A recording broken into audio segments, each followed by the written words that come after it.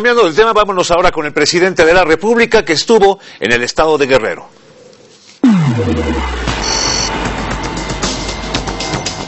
Buenos días. Durante una gira de trabajo por Guerrero, el presidente Felipe Calderón, acompañado por el gobernador Ángel Aguirre, inauguró la carretera Tlacuachistlahuaca-Metlatónoc o Tlacuaches en la llanura, la cual contó con una inversión de 1.487 millones de pesos.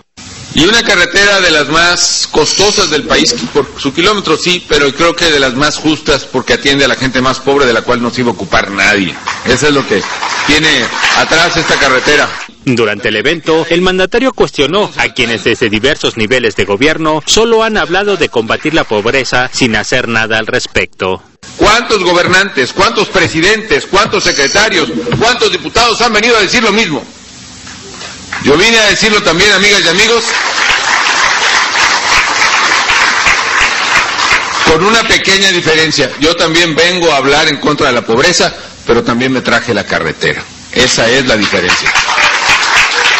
Esta obra tiene una longitud de 100 kilómetros, se localiza en las regiones de la montaña y la costa chica de Guerrero, en beneficio de más de 35 mil habitantes de varias comunidades. Además, reducirá el tiempo de recorrido de 12 a 2 horas. Es importante abrir caminos para la gente más pobre porque son caminos que abren las oportunidades. Pero es también la posibilidad de que varias decenas de miles de las mexicanas y los mexicanos más pobres puedan tener una oportunidad de trabajar, de ir a la escuela, de ir al doctor, de comunicarse mejor. Al final del evento, el mandatario se despidió con emoción de los habitantes de este municipio, uno de los primeros que visitó como presidente.